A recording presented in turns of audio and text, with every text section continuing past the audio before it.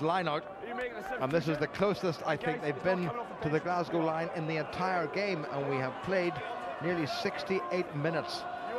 Well this is going to be interesting. Uh, looks like uh, Paddy McAllister is uh, is going to be the one to affect. You'd expect it just to be a, a straight ball to two. And Glasgow have got their wits they'll jack someone there which they didn't do. Not a bad job by McAllister taken by Muller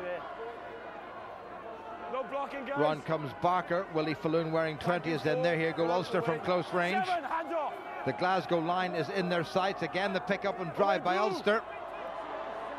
And they're getting closer all the time. They really do need a try here. Great Glasgow defence, and they've held Ulster off the ground. Good work by uh, Johnny Beattie, the replacement, who conceded the penalty in the first place. No foot. Remember, Ulster down to seven forwards. Rory Best in the bin. Advantage, straight to ground. Penalty against Glasgow for going straight to ground. And surely, well, Ulster take it quickly. Pienaar goes for the line. as he squeezed over? The Ulster fans think he has. They may well have to go upstairs to Time Ian off. Ramage. Time off.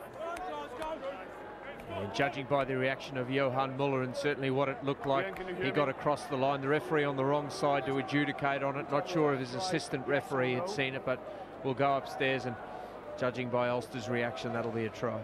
Well, when the two sides met earlier in the season, all Ulster's points, all 17 of them came, or all 19 of them came from this man, Pienaar, and that looks like a pretty good try from here. Just got it. Has he got it on the whitewash? Ooh, it's very close. It's very close. Did it come back in field? Yeah, it's touched the whitewash just, I think.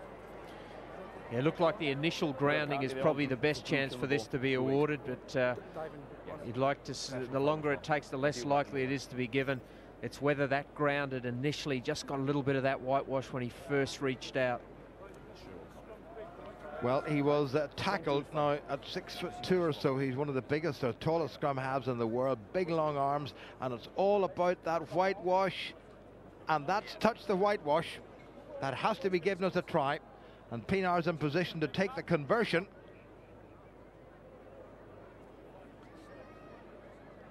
Still waiting. Still waiting. Thank you, Ian.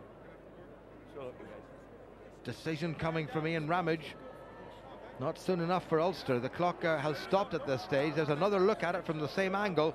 And if it touches that white line at all, which it does just and no more, that must be a try. Captain. Captain, we're still looking, okay? If there's no try, we'll get a penalty of five metres for eight Well, the referee has uh, told the Glasgow captain that they're still looking. If it's no try, it's going to be a penalty to Ulster. But Ulster will take the try, I'm pretty sure. And if it's not awarded as a try, I'll still be tempted to either kick to touch or take a scrum, Yeah, but no uh, problem. they'll be desperately hoping If this not, is we awarded. Well, the referee is still muttering to himself.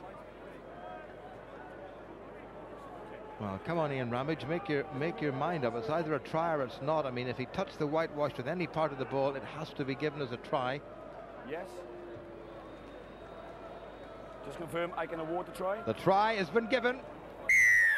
Ulster have got their first try of the Eight evening. blue. Eight. Just gonna deal with the professional foul. Eight.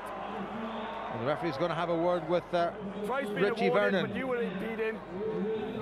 Killing the ball. And Richie Vernon's been sent to the bin for killing the ball, which is what the penalty was given for anyway. So it's uh, Glasgow Fact, he scored the 16 try, doesn't get and Ulster 14. Conversion to come. Yeah, well, there's the consistency you were looking for from the referee. Uh, professional foul, five metres out from the try line, and duly shown the yellow card. Well, just over 10 minutes remaining. This to bring Ulster back to level terms. And he has nailed that one. So it's.